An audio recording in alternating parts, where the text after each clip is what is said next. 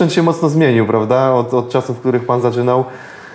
Jak, jak, jak pan widzi to, czy pan by się odnalazł w tych teraz kolorowych butach? Nie, no, wiadomo, no, Czy wybrałby pan czarne? za, zakładałbym ci- przyciemnione okulary, żeby tak nie, nie raziły za bardzo chyba.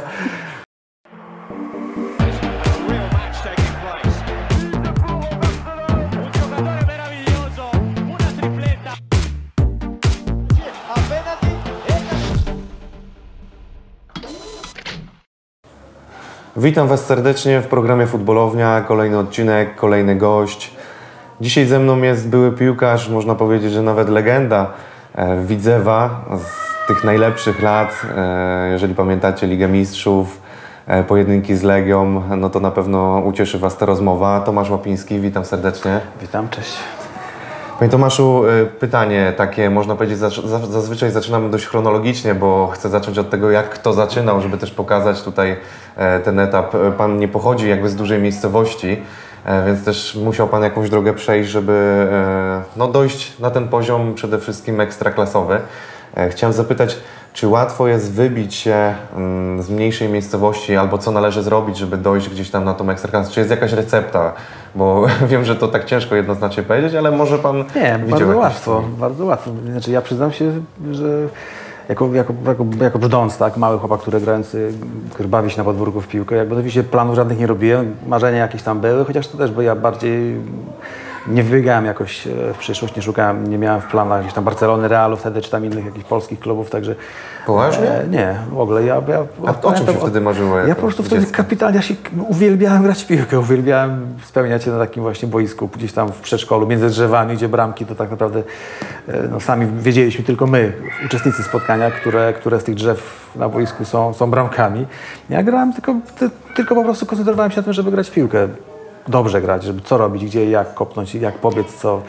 W ogóle nie, nie, nie przypominam sobie takich, takich mm, e, myśli, że, że mam jakiś cel do zrealizowania, że gdzieś tu muszę awansować do drugiej ligi, do trzeciej, czy do pierwszej, czy do ekstraklasy, zagrać w najlepszym klubie w Polsce. Nie, w ogóle. Nie było tak, że Pan spał z piłką i marzył o tym, żeby zostać nie, piłkarzem? Ja nie spałem z piłką, ja grałem. Pół dnia spędzałem na boisku co najmniej. I, i już. I, I pod kątem tej recepty, która, e, która pozwala awansować gdzieś tam iść do jakiejś tam profesjonalnej piłki, o, to ona jest jedna tak naprawdę.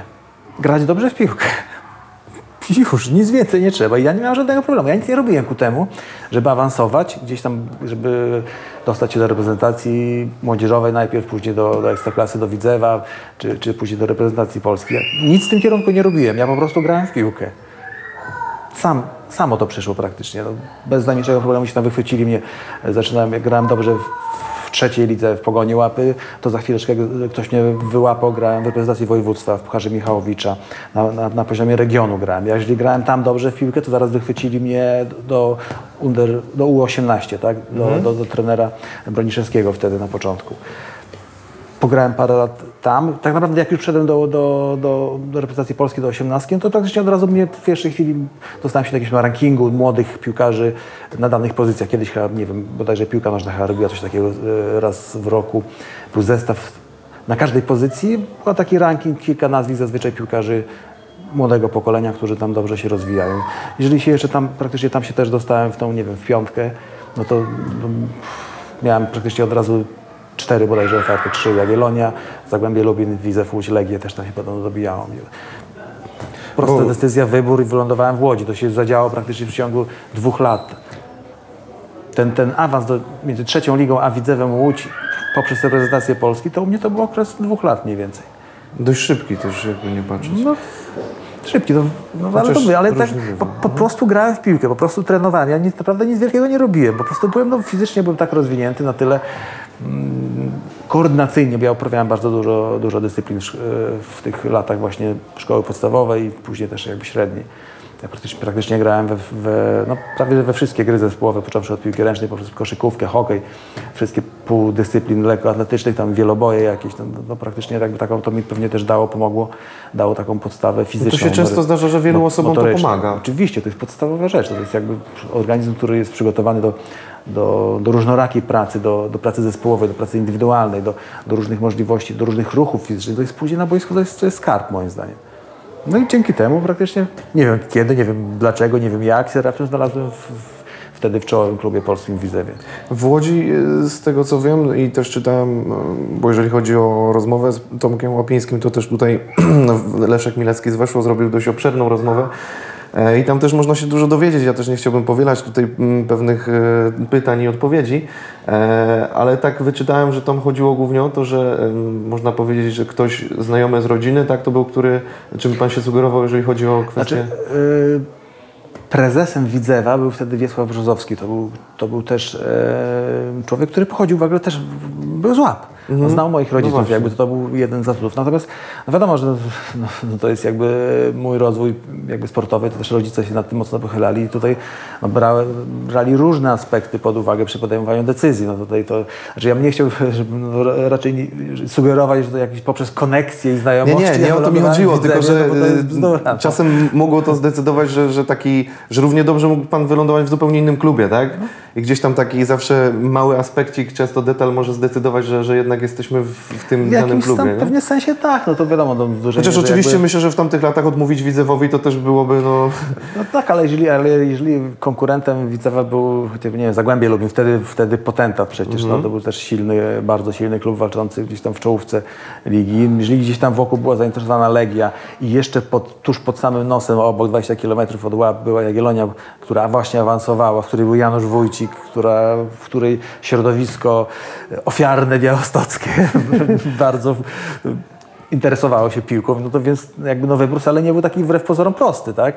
Pod kątem, w różnych aspektach, pod kątem jakby tego, jak rodzice patrząc na, na rozwój swojego e, syna i no też no, przyglądają się pod każdym względem temu, która decyzja będzie, będzie prawidłowa. W związku z tym, no to tak wahań było sporo. Bardziej rodzice zdecydowali, czy Pan naciskał?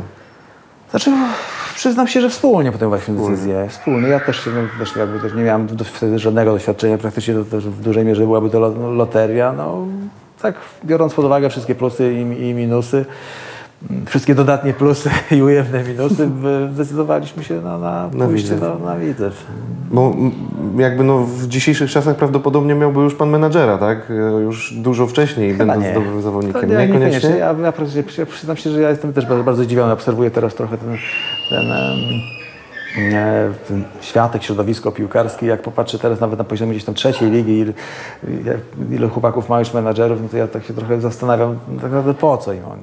Ja, ja, ja rozumiem, że jakby no, świat się trochę zmienił, piłka się zmieniła, natomiast no, rozumiem, kiedy, kiedy, no, kiedy człowiek już jest na jakimś takim większym, na etapie dalszego rozwoju, gdzieś tam w wyższych ligach gra, to tak, jeszcze jak najbardziej, no, ale na etapie tak naprawdę wejścia w ogóle w jakąkolwiek piłkę, w ogóle wydostania się, na, to nawet trudno powiedzieć w jakiś zawodowy futbol, bo to jeszcze jest amatorka totalna, no oni już na to popodpisywani, no, no, to No to trochę, to trochę, dzieci to praktycznie trochę, już podpisują. Tak, no ja rozumiem, też jest takie, no nie wiem, trochę nie wiem, roszczeniowe może patrzenie, może przesadzam trochę, ale no, moim zdaniem jakby koncentra- koncentracja nie na tym, co, co, co, co powinno się A to robić, kto w tak, co takim trzeba. młodym wieku powinien decydować, że tak powiem o jakiejś tam karierze piłkarskiej takiego młodego zawodnika? Rodzice bardziej powinni wziąć za to odpowiedzialność? No, generalnie tak, no, wydaje mi się, że tutaj jakby, no tylko wiadomo, no, rodzice... też kwestia, czy rodzice się w ogóle znają, bo często jest tak, że ten dzieciak mimo wszystko gra sam, on chce wszystko, a rodzice no, dają mu to, ale no, niekoniecznie się angażują w to emocjonalnie jak on bardzo, nie? Tak, zgadza się. Natomiast znaczy, ja, ja zmierzam do tego, że tak naprawdę y, w takiej, w takiej młodzieżowej piłce no, najważniejsze zmierzam do tego, że najważniejsza jest sama gra. Sam, sam, sam menadżer nie, bardzo, no, w bardzo niewielu przypadkach jakby sam wie. Dobra, jest trochę piłkarzy, którzy, którzy grali, ale też jakby też nie do końca moim zdaniem e, oni są w stanie wpłynąć na rozwój zawodnika. Oni nie do końca są w stanie też jakby moim zdaniem podejmować jakieś decyzje. Moim, jakby ja jestem zwolennikiem teorii, że to ktoś, kto jest na co dzień z piłkarzem, czyli tak naprawdę rodzice, powinni jakby doskonalić się w tym, w swojej obserwacji, w swoim jakby poczuciu tego, jak kierować karierą syna. Ja wiem, że to nie jest proste, to nie jest łatwe, tak, ale, ale trener to jest jakby podstawowy człowiek, który, który rozwija, rozwija piłkarza i to on jest najważniejszy, nie menadżer. Trener, to jest, to jest kluczowa rzecz. To jest, tu jest, to jest najważniejsze pytanie, które muszą, muszą, musi sobie postawić rodzic i zaufać temu trenerowi, jeżeli, jeżeli wszystko jest ok. No, pytanie też, w jakim klubie jesteśmy, jaki jest trener w tym klubie, na, na ile jest on też kompetentny, prawda? Tak, ale ja, ja, mi się wydaje, że bardzo często w tych młodych, w tych młodych latach jakby zamienia się kolejność. Ważniejszy jest menadżer, trener jest na którymś tam miejscu. No rozumiem, no też doszliśmy pewnie do takiego punktu, w którym no, jakby nie patrzeć, rodzice trochę gloryfikują swoje dzieciaki i, każdy, że tak powiem, liczy, że ich dziecko będzie no, co najmniej Messi. Ronaldo, Messi, tak? I tutaj w tą stronę bardziej idziemy, także no... e, Są Lodów potrzeba, naprawdę. Tak. Ja myślę, że zdaję sobie sprawę że ta relacja między, między no, dzieckiem a rodzicem to też jakby skrzywia obserwację, ocenę. To dlatego, dlatego cały czas będę mówił, że, że rodzic powinien się odsunąć tak naprawdę, ale wybrać właśnie odpowiedniego człowieka jako trenera dla swojego chłopaka czy dziewczyny. A czemu y, został Pan obrońcą środkowym? No bo Ja nie też... byłem obrońcą, ja byłem napastnikiem. W juniorach No młóciłem właśnie, to mnie ciekawi. Dużo osób chciało strzelać bramki. hurtem, hurtem strzelałem bramki, natomiast tak później no, z wiekiem, no, ja w juniorach się tam bardzo wyróżniałem, no, byłem bardzo ofensywnym e, zawodnikiem i ja naprawdę strzelałem bardzo dużo bramek. Później grając w seniorach w trzeciej lidze zostałem już troszkę cofnięty do, jako defensywny pomocnik, grałem e, sporo. Sporo meczów, no i później pójść przez, już w Widzewie praktycznie byłem wycofywany bardziej właśnie w stoperze, chociaż też na, na defensywnym też grałem. Tak naprawdę chyba pierwsze moje mecze to były właśnie raczej w pomocy w Widzewie niż, niż na stoperze. Nie- nie- Chociaż nie- później trener Lęczyk praktycznie też trafiłem na trenera, który się nie bał stawiać na, na młodych i ta para stoperów, którą tworzyłem z Krzyśkiem Cuchem, no to my w sumie mieliśmy chyba e, tyle samo, nie wiem czy nie, niewiele więcej lat od, od, od, od, od Piekarczyka, który w GKS-ie wtedy grał na stoperze. A nie kłóciło, nie kłócił się Pan czasem z trenerem właśnie jak tam przesuwali Pana, bo często napastnicy czy ci, co strzelają mają takie ja bym chciał grać mimo wszystko jako napastnik, bo strzelałem bramki i później to przesuwanie do obrony skończył Pan na obronie. To jest problem, znaczy Jest, problem, nie? problem, znaczy problem taki mentalny dla zawodników. No tak, bo oni się dokładnie, bronią znaczy, przed, no przed właśnie. pozycją. Ja, moim zdaniem jakby czym, czym młodszy zawodnik, dobra, rozumiem, że to jest doświadczony zawodnik, który już wiele lat spędził na jakiejś tam pozycji, to tutaj może mieć jakieś problemy, bo trudno mu się przestawić. Natomiast każdy młody zawodnik wchodzący jak w dorosłą piłkę w wieku to nie wiem, około 20 lat na przykład, no to każda, każdy, każdy mecz, każde spotkanie rozegrane na jednej pozycji jest ogromny dla niego kapitał moim zdaniem. Tylko to jest coś, co go rozwija, co pozwala mu być lepszym już na, na tej pozycji, która później okaże się docelowa. Bo co ciekawe, mamy zawodników, którzy już w wieku powiedzmy sobie seniorskim, a już na profesjonalnym poziomie potrafili zmienić pozycję, chociażby Łukasz Piszczek. E, No, i czego to spójrzmy na Mandzukiewicza chociażby, jeśli nawet szukając, to szukając wyżej, no to jest, to jest jak, jak skrajnie różne pozycje, tak jak różniące się od, od, od intensywnością, w ogóle zaangażowaniem w grę obronną, właśnie to jest jakby przykład też jak, na jak wysokim poziomie i da się przedstawić, no Jest to możliwe, prawda? dokładnie. To też pewnie czasem kwestia trenera, który widzi te detale w tym zawodniku. No i aprobaty zawodnika samego, tak, że on musi to Bo z Maćka. Rybusa świetnego lewego obrońcę zrobiono, mimo że był bardzo ofensywnym zawodnikiem. Jesteśmy w sklepie Ergol, dzięki którym możemy tutaj nagrywać w fajnych warunkach. E, Pan też- też podglądał tutaj buty i tak chciałem podpytać, bo też mnie to ciekawi właśnie, no sprzęt się mocno zmienił, prawda? Od, od czasów, w których Pan zaczynał.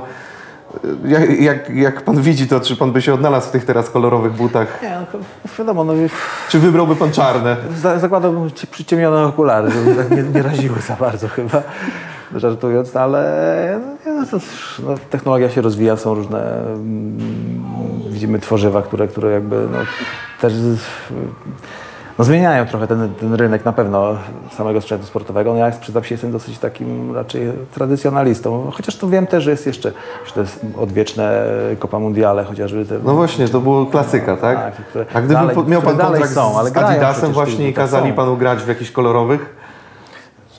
Zupełnie takie, które, które by były, no, które najbardziej by mi pasowały pod kątem jakby no, samej jakości, samej jakby takiej budowy, która, która indywidualnie dla mnie by pasowała po prostu. Nie? A czy pan był takim zawodnikiem, taką osobą o takim charakterze, która gdzieś tam była, no powiedzmy, twardo stawiała warunki na swoim?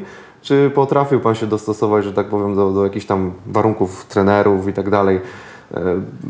Pytam, bo właśnie trochę zacząłem Znaczy, tutaj mówi, od tego, czy, jeżeli mówimy czy gdyby ktoś panu narzucił coś sportowym, właśnie? o aspekcie treningowym, tak? Nie, nie, ja, ja w ogóle ja byłem osobą, która się totalnie pod, pod, podporządkowała. To, Mhm. ja myślę, że to mało jest takich ludzi i tacy ludzie nie funkcjonują w futbolu. Mimo nawet takie, nie wiem, postacie, które gdzieś tam medialnie wydają się, że są tacy łapiący Tak. mocno, twardo, stojąc, zdecydowanym, to w większości przypadków oni w kontakcie z, z odpowiednim trenerem drużynie, to oni zamykają gębę i siedzą cicho i wykonują wszystko, co im każą. Koniec, kropka. Przychodzisz na trening, to nie jesteś trenerem, nie jesteś od decydowania o tym, czy dzisiaj mamy gierkę, czy będziemy gonić po górach, czy będziemy zasuwać, no nie wiem, na rowerach, czy cokolwiek innego będziemy robić, tak? Trener, trener ma swój plan, trener e, mówi, co robimy w mikrocyklu treningowym, koniec, kropka, wykonujemy to. Ja, ja miałem taki układ z trenerem Smudą, że, no, że jakby miałem dosyć duży wpływ na niego wtedy w naszych no, widzewskich sukcesach, ale to był raczej no, taki głos mocno sugerujący. Ja mu po prostu jakby sugerowałem, jak my się czujemy, co się dzieje, czy, czy, jest, czy, czy czegoś za dużo, czy czegoś za mało, czy jakaś taka delikatna sugestia i on to albo brał pod uwagę, albo nie i już, on decydował, ale tu w życiu nie było jakiejś tam Nie miał pan, że tak powiem, ingerencji, nie. nie, jakąś, nie, nie. no bo mówiło się o prawej ręce, tak? Tomasz Łopiński, prawa ręka trenera Smudy, E, ale rozumiem, że to polegało głównie na sugestii jakiejś z szatni, tak? Był On- pan głosem szatni. To jest, to, jest, to jest jedna sprawa. Druga sprawa jest też taka, e, że my po prostu zapracowaliśmy na zaufanie trenera. Trener nam ufał. On ufał, że my nie będziemy go kitować, bo nam się nie chce ruszyć tyłka gdzieś tam, chcemy sobie poleżeć plackiem czy, czy coś. Tylko wiedział, że jeżeli coś takiego wypływa, jakaś informacja ode mnie e, do niego, to to jest, to jest prawda i tu nie ma w tym jakiegoś drugiego dna, nie ma jakiejś kombinacji, tylko po prostu no, chcemy tak samo dobrze i idziemy w tym samym kierunku. On ufał, bo jest mnóstwo trenerów, którzy tak do końca nie ufają swoim piłkarzom przecież. No ale nie, jakby nie patrzeć, y, trener Smuda gdzieś tam przez ostatnie lata wyrobił sobie jakąś taką obraz osoby, która właśnie niekoniecznie ufa zawodnikom i to jest dość ciekawe, No. że na tamte lata potrafił zaufać mocnej ekipie, o mocnych charakterach naprawdę, jakby nie patrzeć, bo tamte lata też słynęły z mocnych Ale, ale słuchaj, no, dobra, to, to kiedy trener ufa swojej drużynie? Jak są sukcesy? Nie do końca. Ufa swojej drużynie wtedy, kiedy, kiedy informacje, które, które spływają od drużyny, jakby potwierdzają się na boisku, na treningu, kiedy wszystko, kiedy on po prostu musi mieć kilka impulsów, kilka zdarzeń, których on się może wahać, ale jednak zdecydował się na, na zaufanie. I to okazało się były słuszne sugestie, tak? Jeżeli będzie miał, będzie posłucha jeden, drugi, trzeci raz sugestii drużyny, a później wychodzi na boisko i raptem mu się drużyny nie poznaje swojej drużyny, no to sorry Jem, no to takie, takie później każda taka sugestia no spotka się z czym? No z odmową po prostu, koniec, kropka. No dobra, spadajcie, ja tu wiem, co ja mam zrobić, koniec, skupcie się na treningu, ja podejmuję decyzję, koniec, kropka, koniec dyskusji. W naszym przypadku było tak, że to, że to funkcjonowało, tak on widział efekty tego. Czyli jakby nie patrzeć, no, no ciężko powiedzieć, żebyście wy źle wspominali współpracę jako widzewiacy z trenerem Smudą. No myślę, że to chyba Liga Mistrzów, dla Mistrzostwa Polski, najlepsze czasy, jakby nie patrzeć, prawda? Najlepsze czasy i przede wszystkim też e, nie wiem jak, jak na, na dzień dzisiejszy mogły się zmienić jego metody treningowe, ale w, pamięta Pan jakieś takie rzeczy, które gdzieś tam dużo pomagały Wam właśnie w osiąganiu sukcesów? Znaczy, Franek, co do- Franek nie stosował moim zdaniem, ja podejrzewam, że do dzisiaj nie stosuje jakichś rewolucyjnych metod treningowych. Tak naprawdę rewolucyjnych metod treningowych wydaje mi się, że nie ma. Ci, którzy tak myślą, to są tam pewnie za chwileczkę zderzą się z rzeczywistością. Piłka jest, piłka jest, y, jest, jest grą, która się sporo zmieniła, ale jest dalej jakby, w, w, są pewne, pewne rzeczy moim zdaniem w takim mikrocyklu szkoleniowym, które, które mają większy albo mniejszy wpływ na to, jak drużyna funkcjonuje. I Franek był zwolennikiem takiej teorii, że on, on i myślę, że to jest słuszna teoria. Ja cały czas jakby obserwuję różnych też trenerów i widzę jakby co robią, w jaki sposób y, prowadzą drużyny. Franek był zwolennikiem właśnie tego, że największy wpływ na to, jak, jak drużyna funkcjonuje, mają gry. On, on, on traktował jakby naukę, próbę przekonania drużyny do tego, jak ma funkcjonować w czasie, w czasie gry, poprzez odtworzenie jak najbardziej zbliżonych warunków w treningu Meczowych. do meczu. I on, on do tego dążył. Jakby, oczywiście to były różne gry, różne typy, mniejsze, większe, na, na różnych przestrzeniach, w zależności od tego, do czego, do czego dążył, ale on za każdym razem wymuszał na nas jakby odtworzenie jak najbardziej zbliżonych warunków meczowych w czasie treningu. I to moim zdaniem, to było tak największy klucz. Oczywiście do tego dochodzi jeszcze taktyka, jeszcze tam parę różnych rzeczy, które się tam jakby wspierały, ale głównym naciskiem treningowym to były gierki. Szukam tutaj takiej, mm, gdzieś tam, może nie tylko ja i wiele osób się zastanawia, patrząc na, na, na ten obraz trenera Smudy, który sobie gdzieś tam właśnie ostatnio wyrobił, że e, wiele osób jest w stanie powiedzieć, że to było trochę przypadku w tym e, i szukają Oj, takiego, nie, nie, czy to nie, była kwestia, o, trafiła mu się dobra drużyna, świetne charaktery. to- czy są jakieś metody treningowe, które nagle tam Słuchaj, są to, to jest bardzo proste. Tak. Ktoś, kto, kto pójdzie obserwować trening Franka, to sobie się popuka w głowę i powie, co trener, rzuca piłkę, jak macie, grajcie. No, tak? Bo stoją i grają cały czas praktycznie. Najpierw stoją, pogadają, coś tam i grają. Jeżeli nie zwróci uwagę na szczegóły, jeżeli nie zwróci uwagę na, na sposób jakby, e, na co trener, co trener akcentuje, jak robi, czego wymaga, no to tak stojąc z boku będzie się wydawało, co za trener, co za warsztat jakiś tam do dupy, ma nic nie umie, tylko na stop jedno ćwiczenie praktycznie przez całe, przez całe życie. To jest bardzo uproszczone spojrzenie kogoś, kto nie ma zielonego pojęcia o tym, co wpływa tak, tak naprawdę na, na jakość drużyny, na sposób gry drużyny.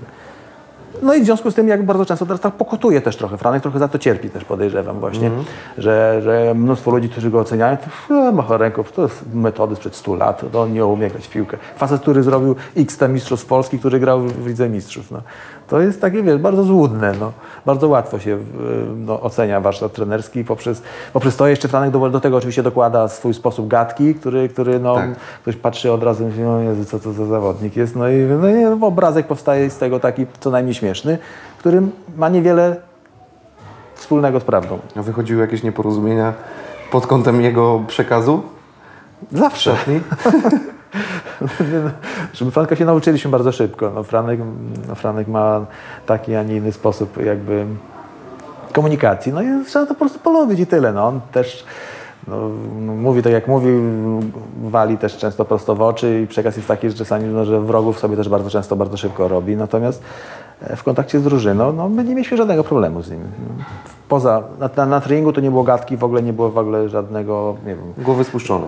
głowy w dół, gonimy. Ale domyślam się, że no, szatnia piłkarska Pomiędzy? uwielbia takich trenerów, którzy, których można gdzieś tam troszkę pod kątem e, ukuć, pod kątem takiego właśnie pod, podśmiewania. to, to po- pomiędzy treningami to były tam, było paru, którzy tam tylko czekali na to, żeby jakąś szpilę mu wsadzić, pośmiać i powygłupać. I on miał do tego dystans, to też sukcesy były, to też jakby no ułatwiało. Właśnie potrafił się zdystansować wtedy do tego? Tak, no wiesz, Nie było to, nie, to już jak szpak się z niego tam nabijał z Franka, przecież nie raz tam coś tam, tam gadki dosuwał, także tutaj... To, No właśnie, bo to Piotrek Szarpak chyba był taką osobą od, od Dokładnie, zabawy w szatni.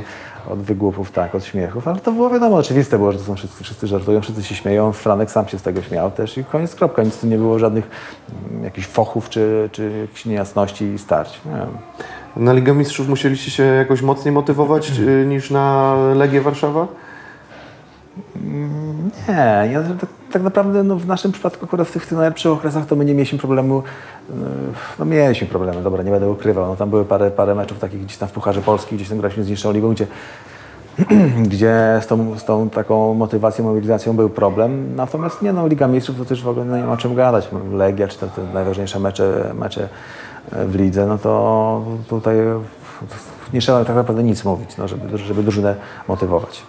Jakoś y, pytam, ponieważ no, czy, czy to było jakieś większe nastawienie, że zobaczył Pan listę nazwisk, które gdzieś tam wyjdą, y, czy to Borussia, czy to Atletico i zastanawia się, o kurczę, no to zaczyna się robić poważnie, nie? Nie, no się śmialiśmy przecież, że tam wtedy chociażby taka sytuacja była przed meczem e, rewanżowym z Atletico. W Madrycie graliśmy. To, to trener pytał. Hiszpanie byli wpisani poprzez pełne, pełne, pełne nazwiska i przed nami zaczął nam wymieniać, że tego panowie fajnie grają, grają w drugim składem, sama rezerwa, mamy szansę, jedziemy na nich. Tego nie ma, tego nie ma, tego nie ma, tego nie ma. Wychodzimy na rozgrzewkę, patrzymy, wszyscy są, normalnie się rozgrzewają. No tak, bo oni mają te długie, Tak, dość długie nazwiska. nazwiska, posługują się często na skrót, skrótami, na koszulkach Kiko i tam inni w sumie, a no i wyszło takie nieporozumienie troszeczkę, no ale Zmyliło go to. tak. Też y, ciekawi mnie kwestia, bo czy Liga Mistrzów i powiedzmy sobie medal olimpijski to są dwa największe sukcesy? No tak, tak, zdecydowanie. To, to myślę, że to takie, no Mistrzostwa Polski jest, też jestem bardzo No tak, Mistrzostwo Polskie, no, no to też jakaś tam kwestia. No, patrząc na Ligę Mistrzów, no to jest już dalszy etap, tak, tego Mistrzostwa Polski. E, przechodząc jakby do tych e, olimpijskich, no bo Mistrzostw Olimpijskich, bo, bo no, Igrzysk, ponieważ tam Pan współpracował już e, też z dość specyficznym trenerem Januszem Wójcikiem. E, No i to, to, to mnie ciekawi, bo to dwie takie postaci naprawdę ciekawe polskiej piłki, polskiej e, ławki trenerskiej. E, A jak udawało się Panu współpracować z Januszem Wójcikiem? Czy w, no, na etapie, kiedy, kiedy graliśmy już w, na igrzyskach, to tam już nie, to, to już nie było żadnego problemu. Ja miałem z trenerem Wójcikiem taki trosz, troszkę więcej zgrzytów w tych e, kadrach młodzieżowych. Jeszcze wtedy, kiedy on przejął po trenerze Broniszewskim, to właśnie tą osiemnastkę naszą, która później przekształciła się właśnie w olimpijską, to gdzieś tam w tych początkowych e, fazach, gdzieś tam, gdy ta drużyna się krystalizowała, to, to ja tam miałem, no, z trenerem miałem trochę tam, no, Ale to chyba każdy na początku Tak, miał. Nawet sam trochę Kowal, tak. k- który był jego pupilem, zaczynał bardzo ciężko z nim. No, także to, to były takie okresy. No, myślę, że trener też się przyglądał nam wszystkim, bo usiłował to zestawić e, w jedenastkę i, i gdzieś tam jakieś tam drobne zgrzyty no, się pojawiały, ale to też nie były takie zgrzyty, które cokolwiek jakoś tam powodowały, że coś tam źle funkcjonowało. To raczej było to pewnie pod kątem jakby no, i wymagań, i, i też sposobu komunikacji. No, trener Wójcik też był bardzo specyficznym, jest specyficznym e, trenerem, który, który też na, no, ta komunikacja z nim przebiega też nie, niestandardowo zazwyczaj. On przekazuje bardzo jasne komunikaty, nawet Czasami za jasne, czasami oślepiające czasami nawet, powiedziałbym, ale, ale, no ale nie, ale mówię, tak jak później już na, czy na igrzyskach, czy, czy jeszcze później, kiedy był trenerem pierwszej reprezentacji, to tutaj już, to, to, już, to on jakby wiedział, co ja gram, kim ja jestem, co ja... Bo nie jest takim emocjonalnym człowiekiem, że, że gdzieś tam żyje, chodzi po szatni lata. Nie. I ciekawiło mnie właśnie kwestia e, Wójcika, który no wchodzi z taką swoją motywacyjną gadką i motywuje, jak to na Pana działało, nie? Czy to pobudzało do walki, czy wręcz przeciwnie, Pan siedział tam w kącie i myślał, Znaczy, znaczy, bo wiem, że na ja niektórych tak, dobrze działało.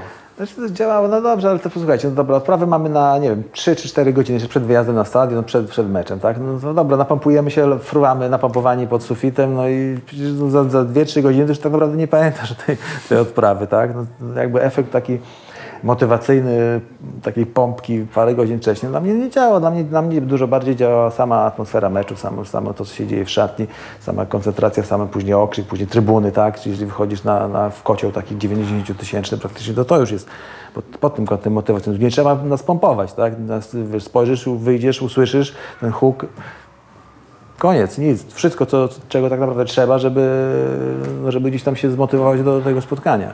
Ja tu panu też przekażę, e, bo Janusz Wójcik podczas wywiadu tutaj wcześniejszego, który z nim robiłem, e, zadałem mu pytanie, jak, jak on by widział tamtejszą kadrę w stosunku do tej, która jest teraz i, i no powiedział, że Ale- Glik i Pazdan mieliby bardzo ciężko, jeżeli porównamy do, e, ponieważ powiedział Tomasz Wałdoch i Tomasz Łapiński to, były, to byli wybitni obrońcy i Pazdan z Glikiem mieliby ciężko. Znaczy, znaczy, ja powiem tak, znaczy ja, ja, ja nie chcę się jakby porównywać tutaj z, z bo to jest jakby nie ma ciężko, sensu, ale- to jest inna piłka, w ogóle inaczej się grał. Przecież ja zaczynałem, przecież ja zaczynałem jeszcze w, tam w Hen Hen w latach e, 80., 87 rok, to przecież graliśmy czwórką w obronie z ostatnim stoperem, tak? I for. Tak. No, No, to później oczywiście to bardzo szybko, później już praktycznie się przestawiało. Ja poza Franka później graliśmy trójką, to graliśmy trójką w linii tak naprawdę. Także to też jakby no, piłka się jakby bardzo mocno zmienia i to jakby takie porównania no, nie mają sensu. No, pod kątem indy- indywidualnych możliwości to też jakby no, trudno i mi się, nawet niezręczne dla mnie byłoby, żeby ja tutaj nie się odnosił do tego, co tu powiedział e, trener Wójcik. No, no, byłem takim, a nie innym piłkarzem. Kamil Glik jest wybitnym piłkarzem, Michał Pazdam jest także wybitnym e, piłkarzem i grają na światowym poziomie i to, dużo gadać, są kapitalnymi piłkarzami, fajnymi ludźmi w ogóle. I już, no, my z Tomkiem, no co, no, też graliśmy, mieliśmy swój czas, pograliśmy sobie trochę i koniec, kropka. No, byliśmy, mieliśmy takie, a nie inne możliwości fizyczne, tak inaczej byliśmy ukształtowani, tak, tak, tak graliśmy. Graliśmy lepsze mecze i, i gorsze mecze. Tak samo dawaliśmy babole, jak i dawaliśmy dobre piłki, graliśmy dobre spotkania. To bardzo tak samo. Pod tym kątem nie jesteśmy niczym innym, się nie różnimy od Glika czy od, czy od Pazdana. No, trener Wójcik tu podsumował.